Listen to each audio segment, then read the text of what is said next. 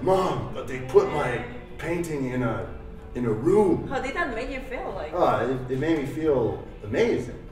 But I didn't know that that's what I was going to do when I was just drawing and doing stuff every day. So when I did the Mayfly, I was grateful that somebody gave me the opportunity.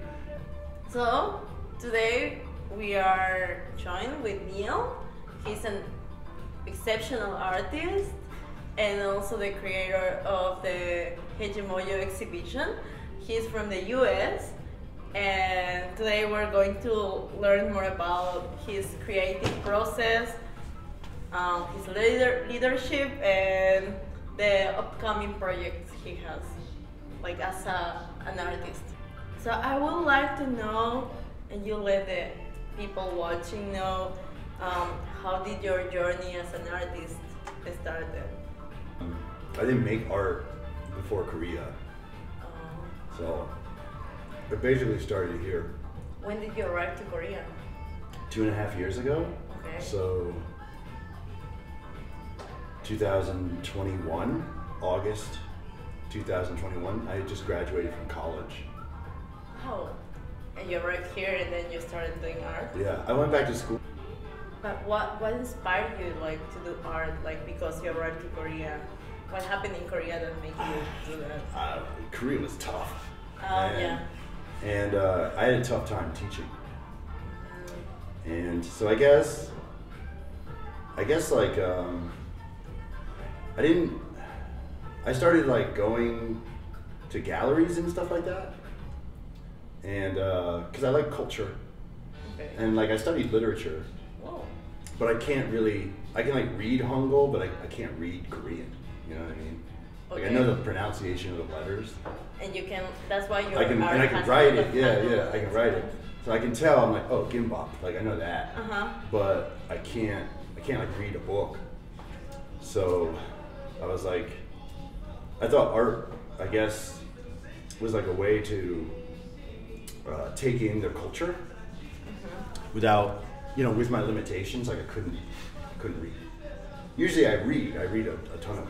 So it was a way of expressing what you wanted to communicate.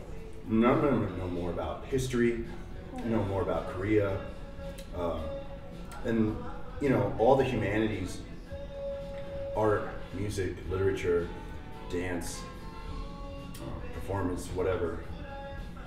They're all like um, they teach you what the the culture thinks is important, and like what the culture has kind of been through, and and kind of learn about people.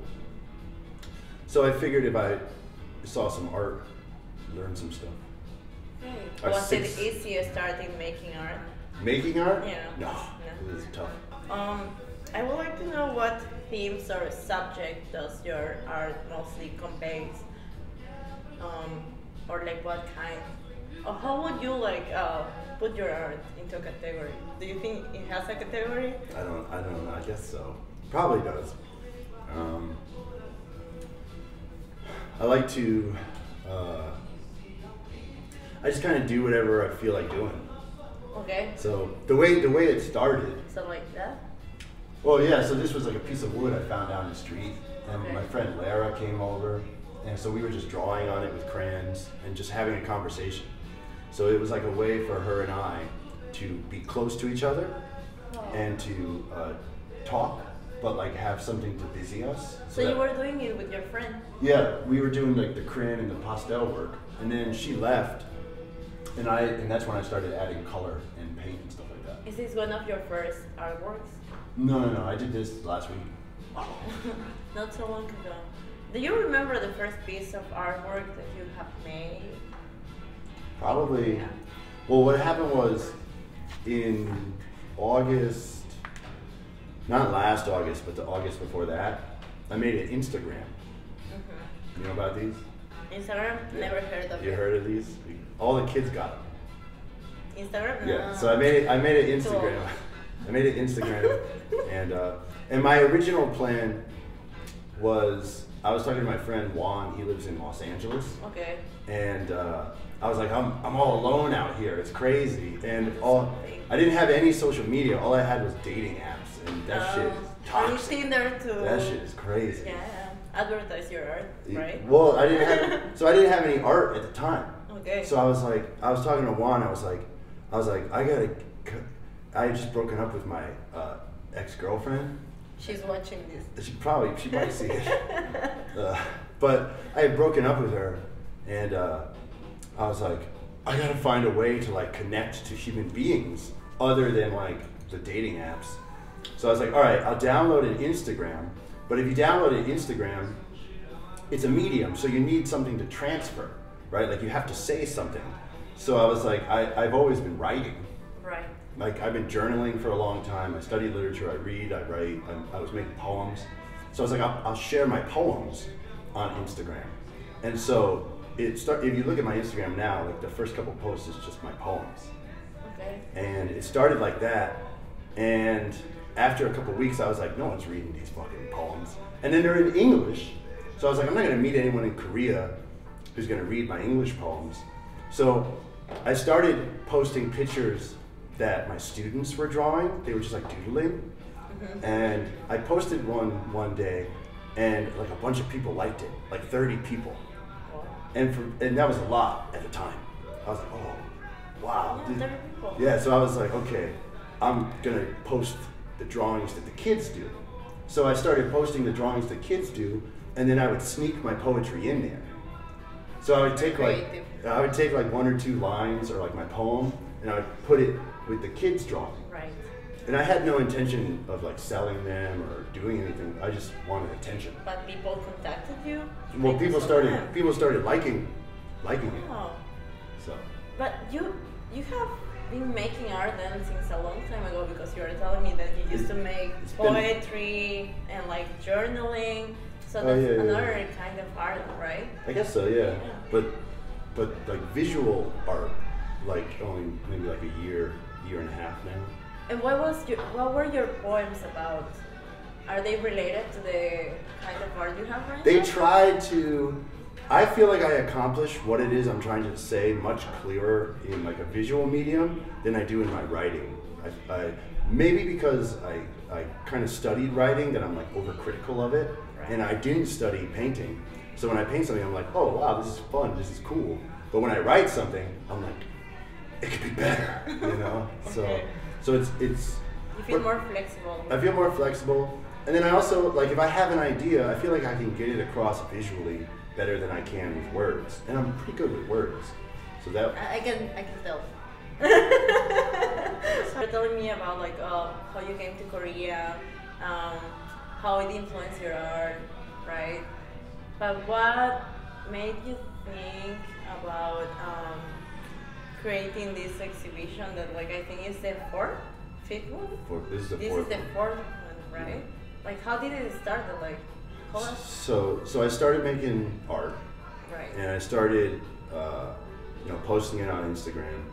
And the other thing I did was I found artists in Korea and I would just go support them. Okay. So like people would do uh, an exhibition at a gallery or or even in a bar or in a cafe or or just or they just were posting their art and I was very verbal. Like uh, or very outgoing. Okay. I would just be like hey this is cool. And a lot of times I, I would use like a translator too like Google Translate and I would talk to a Korean artists Well, and I would I would say hey I'm, I'm gonna come to your exhibition because I needed something to do. Right. so before, because I didn't have to go to the Hagwon until like 1.30 in the afternoon, so I would go to exhibitions in the morning, and then I would go to work. And on the weekends, like Saturday and Sunday, I would go to exhibitions. So I'd, I'd find the person on Instagram, because I was new to Instagram. Right. So I was like, this is amazing. You can connect with people. One of the reasons I hate television is because it's like a one way medium. Like the television talks to you, you don't talk to the television. But the Instagram has the potential to talk to somebody. You know, like like I could send a message to Trent Reznor from Nine Inch Nails tonight and uh-huh. maybe he reads it. That's crazy. So you started connecting with people through Instagram, like especially artists, and getting into the community. Yeah, I think, and I think, uh, because I thought about it a lot. I was like, why doesn't everybody do this? And I think people just became like kind of used to. They've they've turned their experience of Instagram into a one way street where they're mostly consuming as opposed to producing. I found artists on Instagram, and I would just say, hey, I'm going to come meet you. I'd go talk to them. Um, people love it when you support their, their art. Can you remember the specific time that you had the idea of like, oh, I should make an exhibition like for all of these people? Like Yeah. maybe Korea needs a community or something like. So if, if you painted something today and you want to put it in a public place, you have to own a building, or you have to pay two million won a week to have it in Insadong, or you have to be invited by a gallery. And if you're going to be invited by a gallery, you have to have a portfolio. You have to have gone to an art college. You have to know a bunch of people. You have to be famous. Like Many steps. there's all these there's steps in but they're not even steps they're just walls mm. and so people aren't allowed in Okay. so a, a korean woman suhei she does this like one day exhibition thing where she invites artists to her studio to put stuff up for, for one day it's called the mayfly you know what a mayfly is No. Can you explain? it's like an insect that like lives underground like its entire life and then it comes out for like an hour or two Wow. and like has sex that and dies a lot of that's it has a lot of uh, yeah to do with Meta, yeah, it's kind of like metaphor. Yeah. underground, and I'd come out just to have sex. And die. so, so okay, I now did. we know I, what's going to happen. I did the Mayfly. It's been longer than an hour. Let me know. I did the Mayfly, and I was so like, it was just like I was like, oh, because I had like a Hanji piece, like the Korean paper that I Okay. had painted, and she let me hang it up on the wall, and people were taking pictures of it, and I was like, I was like, Mom, but they put my painting in a in a room. How did that make you feel? Like Oh, it, it made me feel amazing. But I didn't know that that's what I was going to do when I was just drawing and doing stuff every day. Right. I was just doing stuff. So when I did the Mayfly, I was grateful that somebody gave me the opportunity because I also like simultaneously I was I was working at this job where I really felt like I was like they don't hear me. I was like really sad all the time at the job. and what do you? Miserable Ah, you mean at the job? when I was teaching. Okay. And I was like, this job sucks. And I tried to like tell them, like, I'm like really depressed. Like I, I'm, I'm not happy. It was like post-COVID Korea. I'm teaching. It was my first time teaching, so I didn't really know what I was doing, and I was just really struggling. And but I felt like they didn't hear me. And so like I was like, nobody. It's like I'm crying and everybody's deaf like nobody was hearing what I was. So I felt like I wasn't like a human being. And you felt hurt by doing art. So when somebody, instead. yeah, when somebody invited me to put uh, something on the wall, and, and then they told me I could like have like an artist talk, and then like there were other people, I met them, and they were like, hey, I like this thing, and yeah, I was like, oh God, I'm like a person. Right. So- like so- people can see me, like they can see like the things I do. hmm And and then that same night, this guy James came to the uh, Mayfly, and he is with the Yongsan Fine Arts Association. James. Yeah, and he's been an artist in Korea for know, 10, 15, 20 years. He's been he's been out here a long time. And so he invited me to go to the Yongsan Fine Arts. Uh, it was like an exhibition where it, I think the Yongsan, because every district in Korea has like a fine arts association, Okay. but Yongsan's the only one I think that uh, allows foreigners to participate.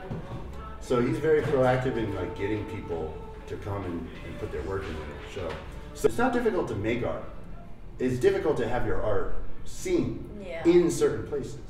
That's true. So he invited me there, and I was thrilled about that. Mm. And then around that same time, I met this guy, uh, Calum King Scribbler. You know this guy? No, I don't know him, but maybe he will watch this. Probably.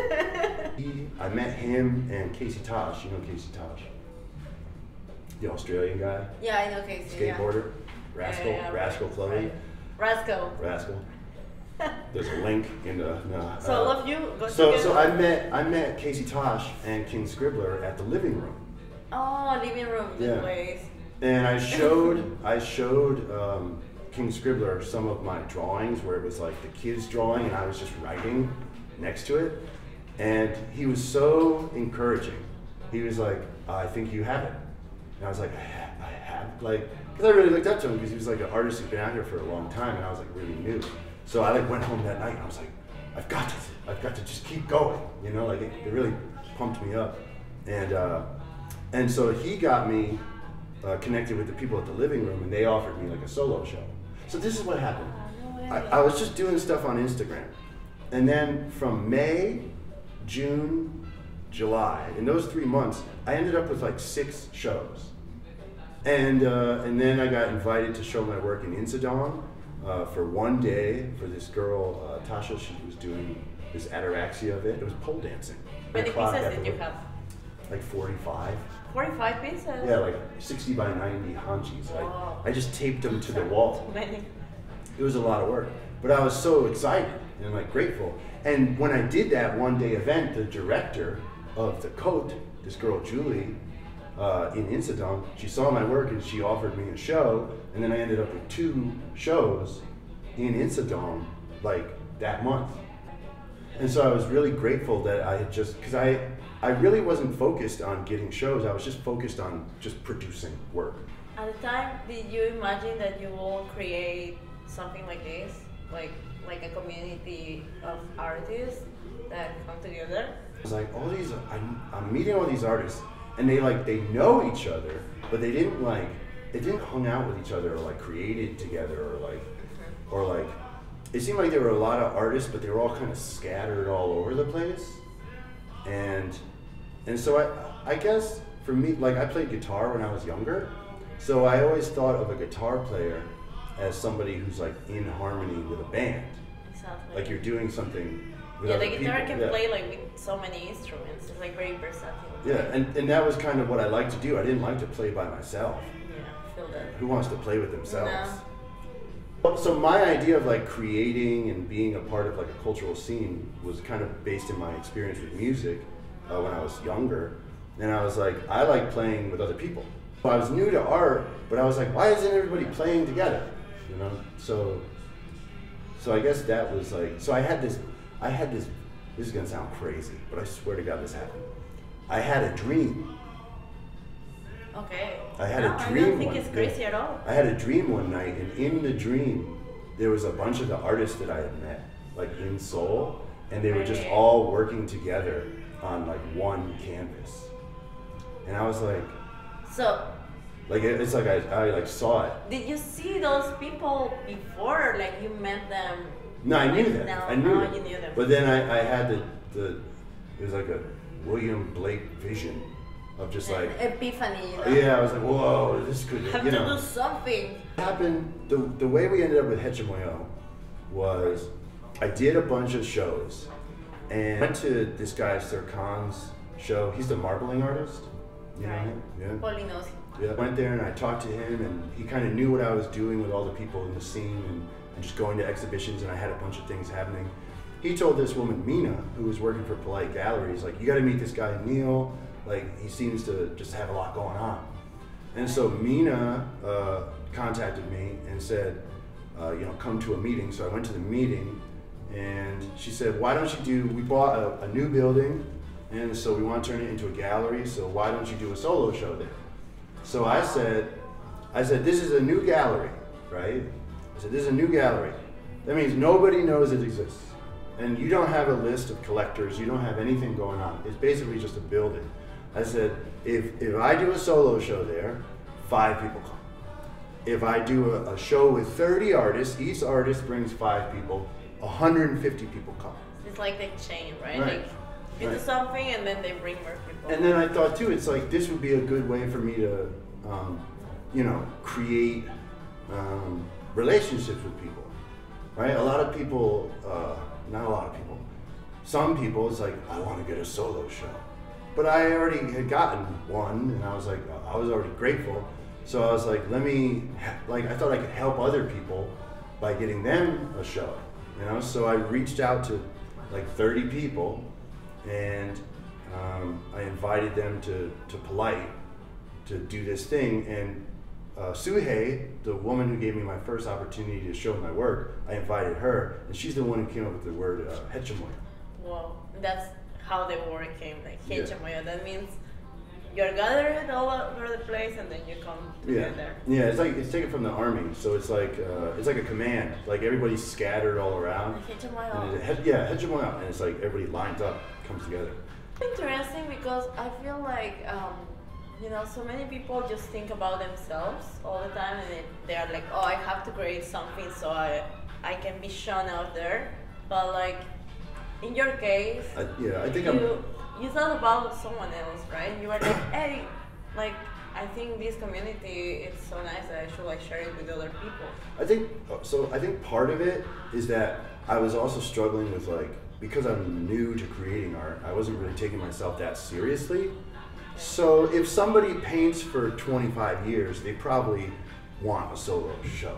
I don't know. this- You know what I'm saying? But because I was kind of new to it, I, I, I was willing to take unselfish risks because I didn't think I deserved as much attention either. So that's kind of part. I'm not like a humanitarian, you know. okay. So that's kind of part of it. Uh, but, but yeah, and we had done that guy James that from Yongsan. He owns the Drip Drop over by Hongdae, and so I had actually done before I did the first Hegemonial. I had I had told him Lara, the woman who does the portrait paintings. I was just talking to her on Instagram, and we had a meeting, and I told her I was like, I was like, there's a lot of spaces in Korea where there's Korean artists showing work, because I had gone to like a ton of exhibitions in the last year, so I was like synthesizing the data. I was I was putting it together. I didn't. That's not why I went. But by just going, I was like figuring out what was going on. And I was like, there's a lot of spaces where there's Korean artists, and there's a couple spaces where there's foreign artists, but there's very few, if any, spaces where there's both. And in the exhibition that you were told to go and do a solo exhibition, it was also with foreigners and Koreans, right? Yeah. Yes. Uh, so when I met that guy James, and Right. he said I could do something at the Drip Drop for one day. Yeah. I invited five Korean artists and five foreign artists. Nice. And um, so that was the first Hegemoyo? Yeah, that was No? we called it the artist networking event, which is Wow. so fucking lame. Now that I think about it, because I talked to people after, they're like, we saw the post and it sounded like you know you put a tie on and you go somewhere and exchange business cards.